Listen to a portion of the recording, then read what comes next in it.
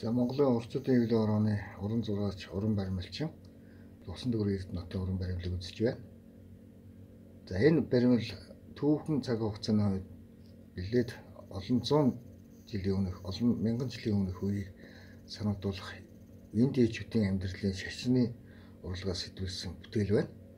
За бүтээлийн онцлог шин чанар бол модны үндэс уртснаас одоо үүсэлтэй эгээр одоо хийгдсэн Түүнийг одоо модны уран ур үндсээр одоо хийцсэн мэт одоо харагдуулахаар хийсэн байгаа.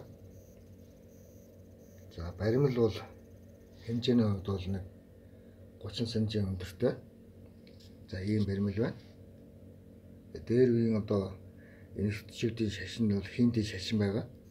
За хиндийн шашин бол ер нь пирамидын гурвалжингийн өмнөх үеийн шашны одоо үүсч хөгжсөн түүнээс улбаасан томоохон одоо шашны урлагийн тухай өгүүлдэг.